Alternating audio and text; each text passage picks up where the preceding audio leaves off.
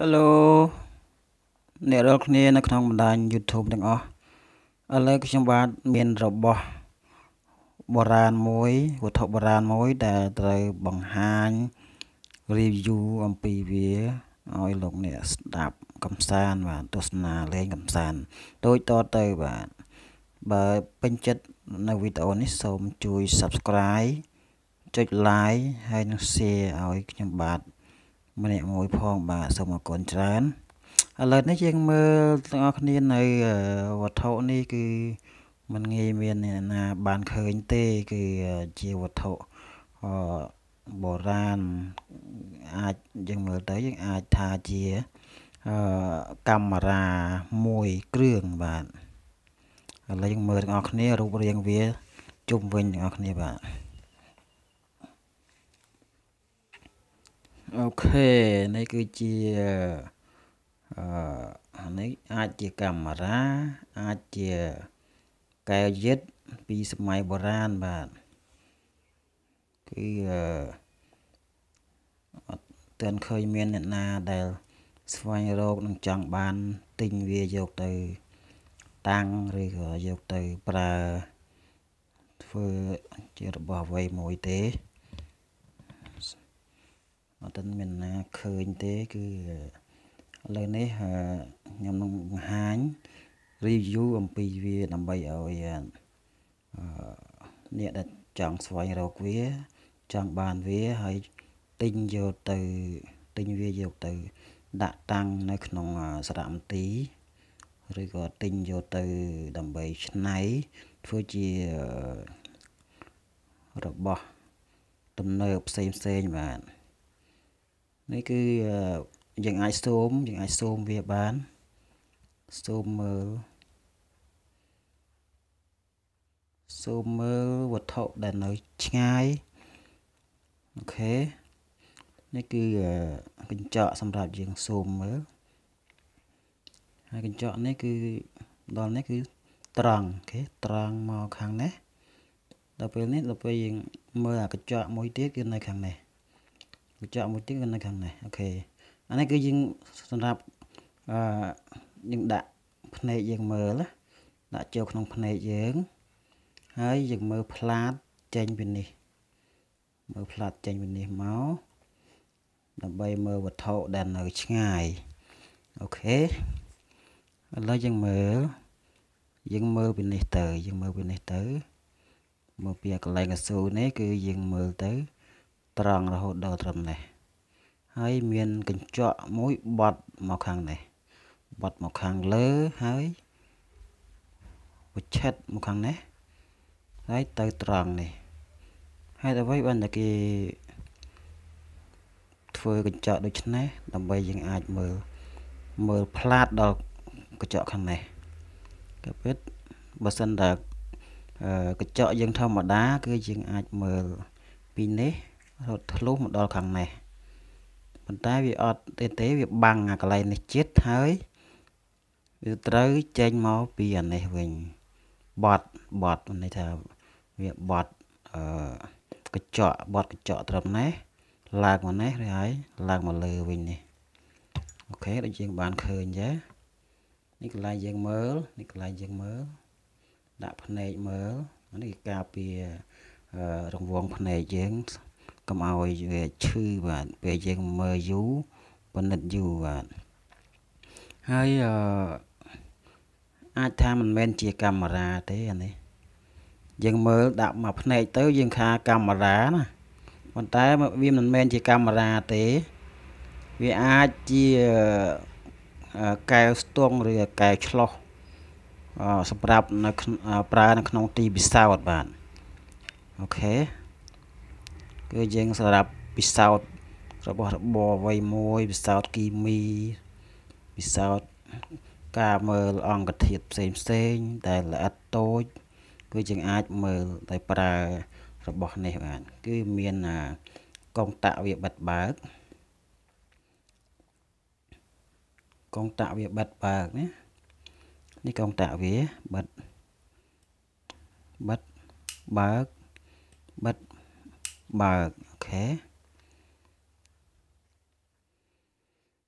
គឺគឺពិតជាចម្លែក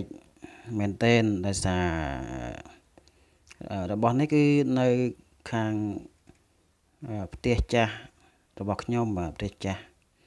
ដែលឪពុករបស់ខ្ញុំបានរក្សាវាទុកតាំងពីយូរតាំងពីសម័យសង្គ្រាមមុនសង្គ្រាមម្លេះ បាទហើយទុករហូតដល់សប្តាហ៍ថ្ងៃនេះហើយយើងអាចមើលឆ្លោះមើលមនុស្សមើលអីនៅឆ្ងាយពីភ្នែកយើង បានច្បាស់បាទឧទាហរណ៍ថាយើងមើលភ្នែកទទេគឺយើងមិនអាចមើលឃើញមនុស្សដែលនៅឆ្ងាយ100ម៉ែត្របានទេ គឺយើងអាចមើលដោយប្រើកែវកែវពង្រីកនេះយើងអាចមើលវាហើយយើង ឃើញមនុស្សនោះច្បាស់បាទយើងអាចស្គាល់មនុស្សនោះច្បាស់ស្គាល់មុខស្គាល់ឈ្មោះទៀតណាចម្ងាយ100ម៉ែត្រដែលយើង100ម៉ែត្រទៅ200ម៉ែត្រដែលយើងមិនអាចស្គាល់អាចស្គាល់មនុស្សនោះបានដូច្នេះយើងអាចប្រើកែវនេះដើម្បីមើលបាទដើម្បីមើលមុខមើលរូបរាង okay okay ឥឡូវអឺ វត្ថុនេះគឺអឺមានគេរកទិញដែលឪពុករបស់ខ្ញុំបានបានអឺបដិសេធថាมันលក់ទេដោយសារតែឲ្យថោកពេកគឺឲ្យ10ដុល្លារឲ្យតម្លៃ10ដុល្លារគឺអត់លក់ទេគឺຕົកຕົកຕົកវារហូតដល់ មានអ្នកផ្សេងអាចឲ្យតម្លៃដល់100ដុល្លារគឺអាចលក់ណាអាចដល់100ដុល្លារ200ដុល្លារឬក៏ច្រើនជាងនេះ គឺអាចលក់បានពីព្រោះវត្ថុនេះគឺជាវត្ថុកម្រជាវត្ថុអាចជាវត្ថុបុរាណដែលដែលមានប្រយោជន៍សម្រាប់ក្នុងទីពិសោធន៍ផ្សេងផ្សេងបាទ ហើយគឺមានប្រអប់វាដូចជាបន្ភ្ជាប់ខ្សែភ្ជាប់ខ្សែភ្លើង2អាចយើងអាចភ្ជាប់ទៅនឹងអាគុយឬទៅនឹងភ្លើងអីបានតែយើងគិតស្មានថាដូច្នេះដោយសារមានខ្សែភ្លើងនេះខ្សែភ្លើងខ្សែភ្លើងនេះភ្ជាប់ភ្ជាប់មកអាម៉ាស៊ីននេះអាដុំនេះភ្ជាប់មកអាដុំនេះគឺនេះភ្ជាប់មកអាដុំនេះខ្សែភ្លើង2ខ្សែភ្លើង2អូខេហើយអានេះគឺសម្រាប់ភ្ជាប់ទៅនឹងតម្រោមួយតម្រោដូចជាដងកាមេរ៉ាដងកាមេរ៉ាយើងអាចដាក់ភ្ជាប់ជាមួយដងកាមេរ៉ាហើយសម្រាប់មើល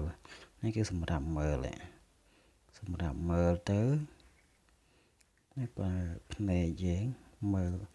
តាក់ក្រឹបភ្នែកយើងឲ្យចំរួននេះហើយយើងមើលវត្ថុនោះអូខេមើលវត្ថុដែលនៅឆ្ងាយពីយើងដែលយើងមិនអាចស្គាល់ណាដល់ពេលយើងមើលបានមើលកែនេះទៅគឺយើងអាចស្គាល់វត្ថុនោះឬក៏ស្គាល់មនុស្សនោះឈ្មោះអ្វីមកអលម៉េចអូខេ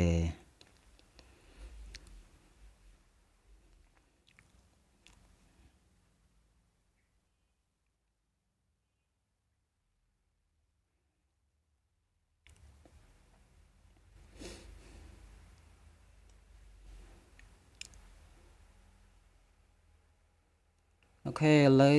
នេះសូមទស្សនិកជនទស្សនាកំសាន្តពីរូបរាងរបស់វាជុំវិញទាំងមូលរបស់វារបស់កែវនេះបាទគឺ